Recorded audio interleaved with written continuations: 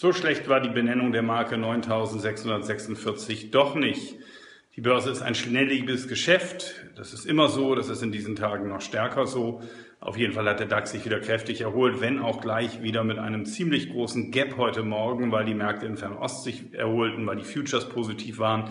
Das hinterlässt immer einen gewissen Makel, aber nichtsdestotrotz ähm, der Markt stabilisiert sich hier, hat gestern ja quasi ein zweites Standbein sozusagen ausgebaut.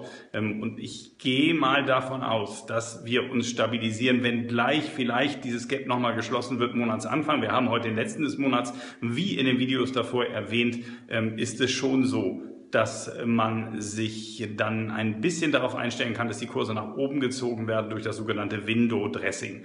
Die VW-Affäre ebbt nicht ab. Wir reden jeden Tag darüber. Jeden Tag kommen neue Personalien ins Gespräch. Ähm, kann der bisherige Finanzvorstand überhaupt noch Aufsichtsratschef werden? Wie viele Leute wussten Bescheid? Nichtsdestotrotz, ich habe einiges ja miterlebt an den Börsen, worauf die Aktienkurse immer wieder erratisch reagiert haben. Ich kann mich vor allem an die Terroranschläge erinnern nach dem 11. September 2001.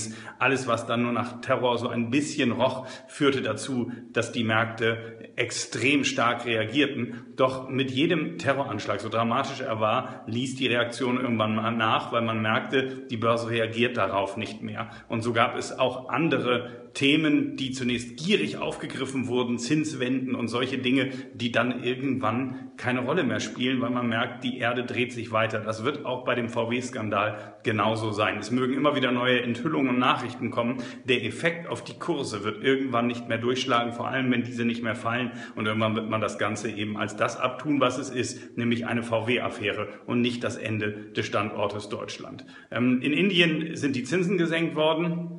Das kann die Wirtschaft da ein bisschen stärker ankurbeln und das könnte dem Goldpreis helfen. Allerdings Zinssenkungen wirken mit Zeitverzögerung. Auch da äh, wird wahrscheinlich keine Schützenhilfe im zweiten Halbjahr kommen. An den Währungs Märkten sieht's relativ langweilig aus. Es geht nämlich ziemlich seitwärts. Das habe ich die letzten Monate auch so prognostiziert. Die starken Währungsbewegungen aus dem ersten Halbjahr, die scheinen vorbei zu sein. Die Amerikaner haben zwar Zinserhöhungsfantasie. Janet Yellen sagt ja nochmal, man wolle schon in diesem Jahr die Zinsen anheben. Aber der Markt hat auch gelernt, alles hängt von der aktuellen Wirtschaftslage ab und keiner weiß genau, ob es denn tatsächlich passiert.